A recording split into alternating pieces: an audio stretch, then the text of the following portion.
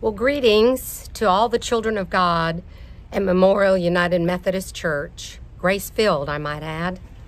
I hope and pray you are holding up well during what feels like to me adult time out.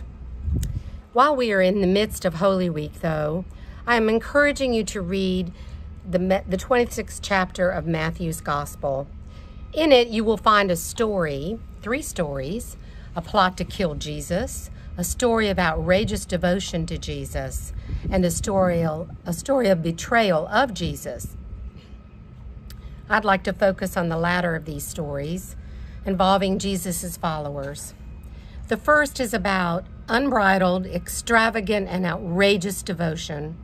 Mary, who is a sister to Martha and Lazarus, shocked everyone in the house when she broke open an alabaster jar anointed Jesus' head with the contents, an expensive perfume called nard.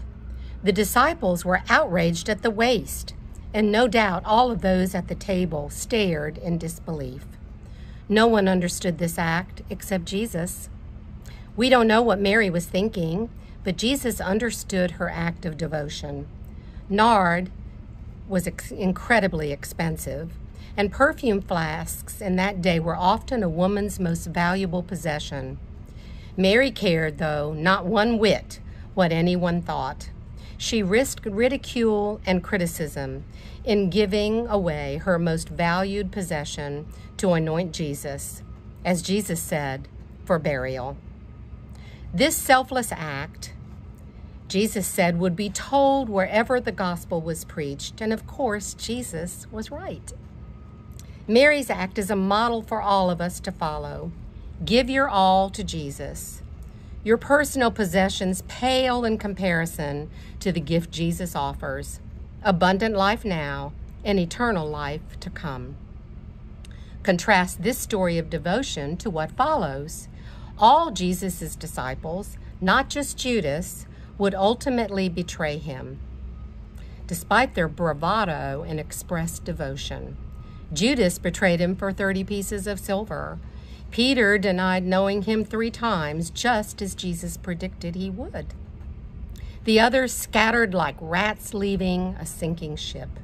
They will remain in this terrified state for many days following that night in the upper room. Both stories are our stories, friends. They represent our choices and our humanity. Living as a disciple of Christ and devotion to Him in, day, in today's world can earn you the title Jesus Freak. Following Jesus' teachings challenges us. Taking up our cross, as Jesus asks, requires self denial and trust in Jesus. Certainly not always easy. In our humanity, we often succumb to the path of fear more quickly than taking the hopeful, loving path. The path of fear too often leads to suspicion, hoarding, blaming, hate, and violence. We see this now in the simple reality of a toilet paper shortage, and we've all had a few good laughs over that. That is, of course, unless you're the one without it. Friends, Jesus knows who we are and our potential. He knows we're fearful and forgetful. It's why He chose the simple elements of bread and wine to help us remember who we are and whose we are. Jesus reminds us through the communal sharing of this food for the body and soul, soul that despite our human frailties, we are forgiven, we are loved, and we can choose love and hope over fear. I hope you will cast aside fear and trust that no matter what you may face, Jesus will never leave you nor forsake you, and that you will choose to place your trust, your devotion, and your fidelity to our Lord. God bless you.